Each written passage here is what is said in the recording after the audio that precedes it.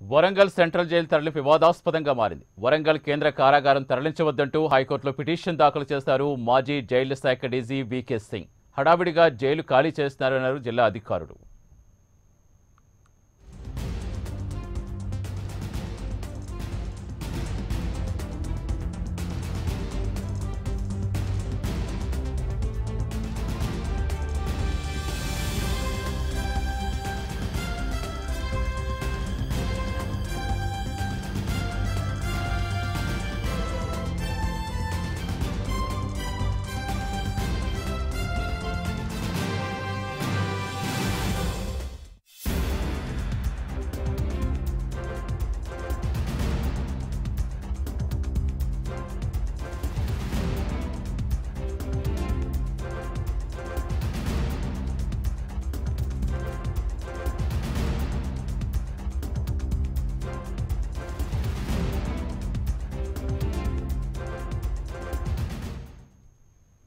Warangal central jail తరలింపు వివాదాస్పదంగా మారింది. వరంగల్ కేంద్ర కారాగారం తరలించవద్దంటూ హైకోర్టులో పిటిషన్ దాఖలు చేశారు మాజీ జైలు శాఖ డీజీ వికే సింగ్.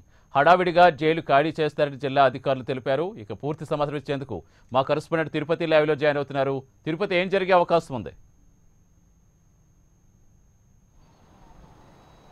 సతీష్ ఇప్పటికే రాష్ట్ర ప్రభుత్వం అంతా కూడా కేంద్ర ఇటు వైద్య ఆరోగ్య శాఖకు సెంట్రల్ జైలు ఆవరణ కూడా అప్పగించాలంటూ ప్రభుత్వం ఉత్తర్వులు జారీ చేసింది. ఈ నేపథ్యంలో గత నెలలో కూడా సీఎం కేసీఆర్ పర్యటించి ఇటు ఎంజీఎం పర్యటించిన నేపథ్యంలో కావచ్చు తర్వాత సెంట్రల్ సెంట్రల్ జైలుని సందర్శించి అక్కడ తయారు చేసిన వస్తువులను కావచ్చు సెంట్రల్ జైలు ఆవరణ మొత్తం కూడా పరిశీలించారు. అప్పుడే నిర్ణయం తీసుకున్నారు. సెంట్రల్ జైలును తరలించాలి. ఇక్కడ ఖైదీలంతా కూడా వేరే జైలులకు తరలించాలి. ఇక్కడ సామాగ్రి కూడా తరలించాలి. నిర్ణయం తీసుకున్నారు. గత నెల నుంచి కూడా మొత్తం జ- జైలు నుంచి ఖైదీలను తొమ్మిది వందల అరవై ఉన్నటువంటి ఖైదీలందరినీ కూడా తరలించారు. ఇప్పుడు సామాగ్రి కూడా తరలింపే ప్రక్రియ చివరికి చేరుకుంది. ఈ నేపథ్యంలో కూడా మొత్తం సెంట్రల్ జైలు తరలింపు కూడా వివాదాస్పదంగా మారుతుంది.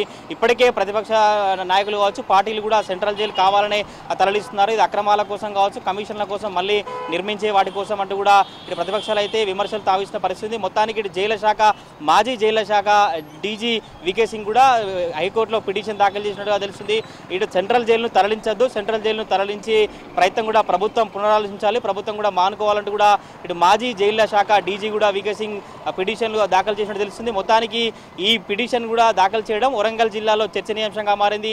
వరంగల్ జిల్లాకు సంబంధించి సెంట్రల్ జైలు కూడా తరలించద్దంటూ కూడా పిటిషన్ దాఖలు చేసి తెలుస్తుంది. ఇప్పటికే ప్రతిపక్ష నేతలంతా కూడా ఈ సెంట్రల్ జైలు తరలించద్దంటూ కూడా మీడియా సమావేశం ఏర్పాటు చేస్తూ ఇటు ప్రభుత్వ చర్యల పట్ల కూడా ఆగ్రహం వ్యక్తం చేశారు. మొత్తం సెంట్రల్ జైలు తరలింపు ప్రక్రియను కూడా జైలు జైళ్ళ శాఖ డీజీ రాజీవ్ త్రివేది కూడా రెండు సార్లు పర్యటించి ఇందులో ఉన్నటువంటి జైలు ఆ, ఖైదీలను కావచ్చు జైల్లో ఉన్నటువంటి సామాగ్రి అంతా కూడా తరలించే ప్రయత్నించారు నా వెనకాల కూడా మీరు సినిమా చూడొచ్చు. వరంగల్ సెంట్రల్ జైలు ఇదే నూట ముప్పై ఐదు సంవత్సరాల క్రితం కూడా నిర్మించి నూట ముప్పై ఐదు సంవత్సరాల నుంచి వరంగల్ ఉమ్మడి జిల్లాకు సంబంధించి కావచ్చు. ఇటు ఆదిలాబాద్ కరీంనగర్ వరంగల్ ఇటు ఖమ్మం జిల్లాకు చెందినటువంటి ఖైదీలందరినీ కూడా ఈ సెంట్రల్ జైల్లోనే ఇంతకాలం ఉంచినటువంటి పరిస్థితి ఉంది. ఇప్పుడు మొత్తం కూడా ఇందులో ఉన్నటువంటి సెంట్రల్ జైల్లో ఉన్నటువంటి ఆ ఖైదీలంతా కూడా చెర్లపల్లికి మహబాదు ఖమ్మం నిజామాబాదు జిల్లాలకు కూడా తరలించారు. ఇటు సామాగ్రిని కూడా తరలించే ప్రక్రియ కొనసాగుతుంది. ఈ పిటిషన్ దాఖల నేపథ్యంలో కూడా జిల్లా అధికారులు కావచ్చు జైలు అధికారులు కూడా హడావుడిగా మొత్తం ప్రక్రియనంతా ప్రక్రియను అంతా కంప్లీట్ చేసే విధంగా అయితే చర్యలు చేపట్టారు.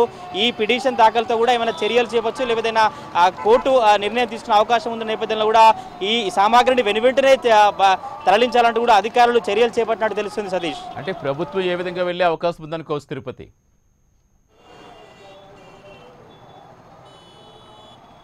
ఇటు ప్రతిపక్ష నాయకులు కావచ్చు ప్రతిపక్ష పార్టీలకు చెందినటువంటి రాజకీయ నాయకులు వీళ్ళంతా కూడా ఇప్పటికే విమర్శలు తావించి ఈ కరోనా సమయంలో సెకండ్ విజృంభిస్తున్న నేపథ్యంలో కూడా తరలించద్దు. కరోనా ఇటు ఖైదీల పట్ల కూడా కరోనా వ్యాప్తి చెందే అవకాశం ఉంటుంది.